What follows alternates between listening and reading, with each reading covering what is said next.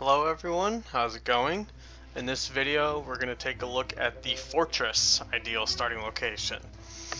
Now if you remember the fortress you have your two flyers, your serpent flies and your wyverns that are very weak units but they're very fast so they're very good at denying enemy archers from firing at you.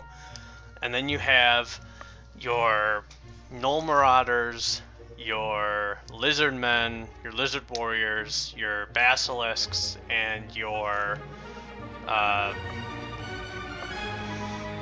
I can't think of the level five. Uh, your gorgons that have the highest defense of their tier. So you definitely want to get your flyers out there and then let your slower, beefier units catch up. So with that said, let's go ahead and take a look at their starting location would be if I was to build an ideal one. No, not random. So I'm gonna go ahead and throw down some swamp.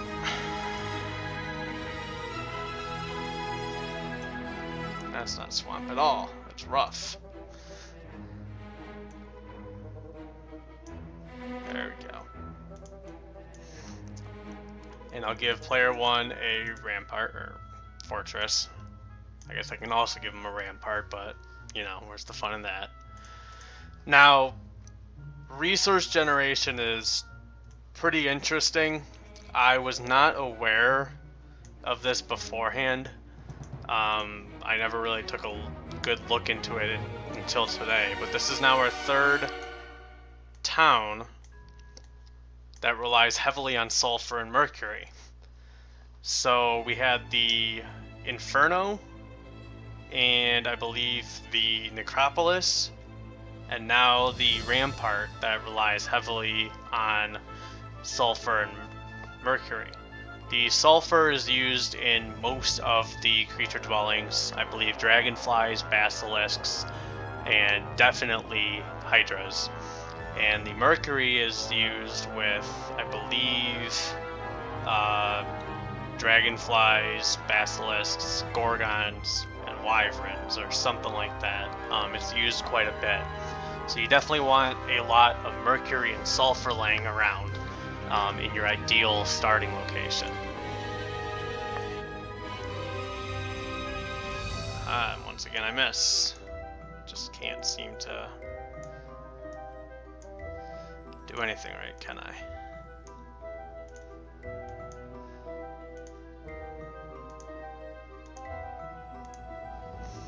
Okay, so that is creature or resource generation. Creature generation. Um, you definitely want to play to one of the two strengths, and it's really up to you to decide. Are you going to give speed, or are you going to give defense? How are you going to empower the creature generation of the fortress. Um, they're both equal, and in an ideal situation, you have either both speed or you have both defense.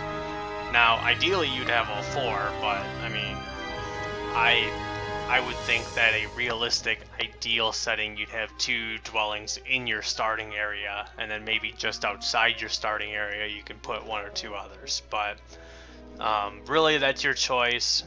Um, I wouldn't even bother with a Hydra Pond. Um, hydras and Chaos Hydras, especially, are utility. Um, they do below average, if not bad damage. Um, they're just not good statistical units. You're paying entirely for the surrounding attack. Um, you can get a lot more bang for your buck if you include dragonflies or if you include gorgons, because the more gorgons you have, the more you can kill with your death stare.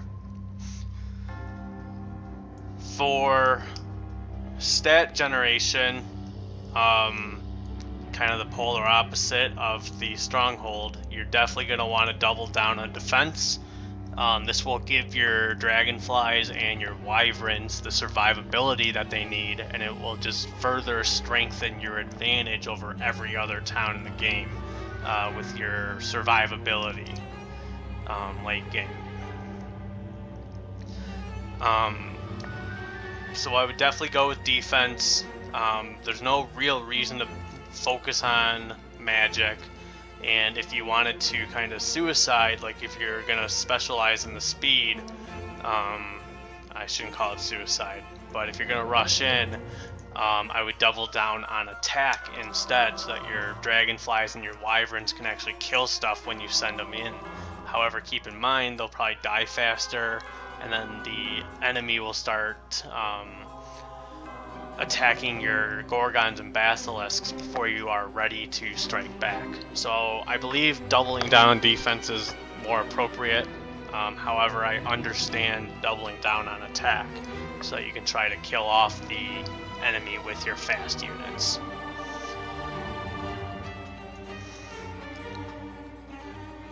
Uh, finally, we have the quests, and with the quests, um, let's see here. I would say dragonflies are always fun. Um, there's nothing more fun than seeing your suicide units uh, showing up in mass. Uh, where are they? There we go. Um, if you're not going to do dragonflies and you want something else, I would honestly say either experience or defense would be necessary. Um, the units aren't particularly expensive, so you don't need gold. And the base Hydra not the Chaos Hydra, doesn't require sulfur to purchase, it's only gold. So you don't need resources early. Um, so I would stay away from either a gold or a resource reward for an early game quest, and I would stick more towards defense or maybe one of the shield artifacts, or even just giving some serpent flies or dragonflies just to help out um, with the early game onslaught.